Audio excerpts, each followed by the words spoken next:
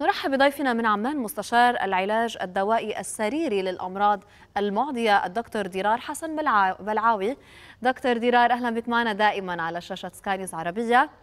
ما رأيك بهذه الدراسة؟ يعني إلى أي مدى اليوم آه، مثير للقلق فعليا أن نسمع أنه ممكن لبعض الأشخاص أنه يحملوا الفيروس لفترة طويلة ما بعد شفائهم وكيف أيضا سيؤخر ذلك من مسألة احتواء انتشار الفيروس؟ تحياتي يا ستي لك وللمشاهدين الكرام. ستي هاي الدراسات أو هاي النتائج حقيقة ليست جديدة. نحن نعرف بأن فيروس كورونا الحقيقة حسب البراهين في دراسات كبيرة عنه أنه بعد اليوم الخامس المصاب قليل جدا احتمالية أنه ينقل الفيروس لغيره. لا بل هاي الدراسة اللي بحكي عنها نتائجها ودراسات أخرى كانت قبل إعطاء المطاعيم.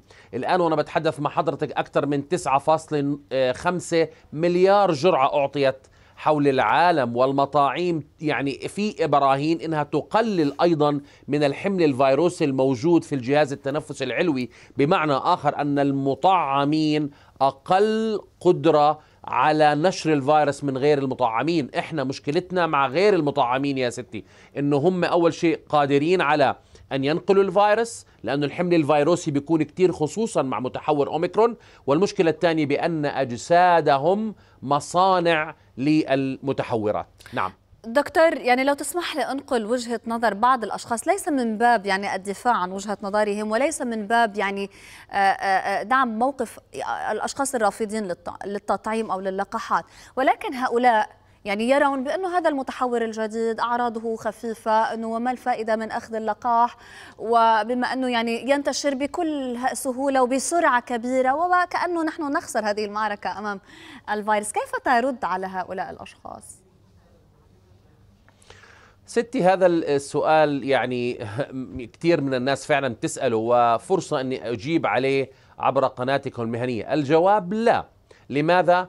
لأنه نعم أنا بوافقهم بأن متحور أوميكرون وكما قلنا الطفرات ليست بصالح هذا الفيروس فكل ما تحور كل ما ضعف. ولكن المشكلة أنه أنت لو أصيبت أصبت بمتحور أوميكرون ماذا يدرينا أنه ممكن هذا يؤدي إلى تدهور حالتك؟ لا نستطيع الحقيقة أن نجزم بأنه كلمة أنه ضعيف لا يعني أنه ممكن آه، ترسل الشخص المصاب إلى غرف العناية الحثيثة لأنه هناك في عوامل جينية. ممكن يكون الشخص مريض عنده أمراض مزمنة غير آه، مضبوطة. ممكن يكون الشخص عم باخذ أدوية آه، مثبطة للمناعة. السبب الثاني إنه إذا أنت المصاب لم يعني تتعرض إلى مضاعفات خطيرة. يمكن أن تنقل هذا الفيروس إلى ناس مناعتهم ضعيفة وبالتالي أنت بتكون أذيتهم.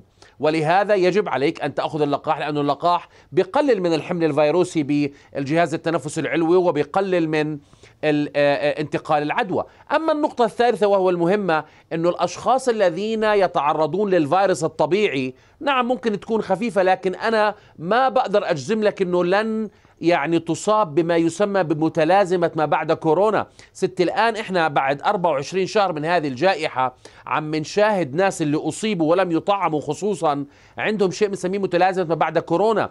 التهابات في القلب التهابات في الكلى في الكبد مشاكل نفسية قلق واكتئاب. هذه كله يعني بسبب انهم ما تلقوا اللقاح. يعني مشاكل مزمنة الرساله الشاهد من حديثي؟ أود أن أسألك نعم عن الأشخاص نعم الأكثر نعم عرضة ل آه، يعني ل يعني بيتضرروا بشكل أكثر من كورونا. يعني تحدثت عن الأشخاص اللي عندهم أمراض مزمنة. وفي ظل ما نسمعه حاليا عن ضرورة أخذ الجرعات المعززة. كيف يعمل من خلال متابعتك يعني اللقاح في جرعتيه مع الأشخاص الأكثر عرضة أو مع الجرعة المعززة؟ كيف عم بيكون تجاوب هؤلاء؟ ستي إحنا خلينا نركز على نقطة مهمة. جرعتا اللقاح مهمتان. يجب على الجميع أن يأخذ جرعتي اللقاح من أي نوع. هي على الأقل قادرة على أن تمنع تدهور الحالة الخفيفة والمتوسطة إلى الحالة الشديدة والحرجة. هذا أول شيء. وكل من مر أو مضى على جرعته الثانية من ثلاث إلى ست أشهر أرجوك أن تأخذ الجرعة المعززة وأنا برأيي أنها جرعة معززة واحدة ما في جرعتان رابعة وخامسة وسادسة هذا كله إشاعات ليس لها أي دليل. لكن أنا مهم جدا أتحدث عن الفئات ذات الاختطار العالي وخصوصا المرضى السكري. خصوصا المرضى السكري اللي سكرهم مش مضبوط مش عم باخذوا أدويتهم.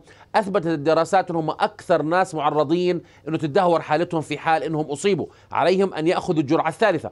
بالإضافة للأشخاص اللي الله يشفيهم عم بتعالجوا من آه، آه، أمراض السرطانات بكافة أنواعها عليهم أن يأخذوا جرعة ثالثة وبعد ست أشهر يأخذوا جرعة رابعة. هم الوحيدين اللي عليهم أن يأخذوا جرعة رابعة وهناك فرق بين المعززة والجرعة الثالثة والرابعة. يعني المرضى اللي عندهم مشكلة بالمناعة أو يأخذوا أدوية مثبطه للمناعة جرعات اللقاح عندهم أربعة يعني ثلاثة بالإضافة إلى رابعة. معززة. أما الآخرين فجرعتي اللقاح بالإضافة إلى المعززة اللي هي الثالثة. نعم. شكرا لضيفنا من عمان الدكتور ضرار حسن بلعاوي مستشار العلاج الدوائي السريري للأمراض المعدية. أهلا بك دكتور.